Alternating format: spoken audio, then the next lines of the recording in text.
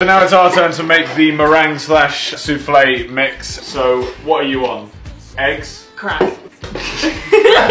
This is the best you've ever done with eggs, I Yeah. think. Thank you. Thank you. It's so.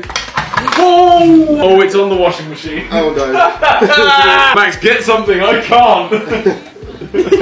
so we've got 200 grams of egg whites. Now I don't know how this one works. so we got this being whisked. Not yet, not yet, not yet. Now, right? No. Oh, no! No, not now. It's Not now! now. It's Not now! He stopped as well. Not now! I put the sugar in, you moron! But that doesn't look like it would stay upside down. I don't think that's done. That's Come not here, gonna idiot. stay upside Max down, is sure it's done. That's not here, gonna stay upside down. Right, ready, Evie? One more time. Why?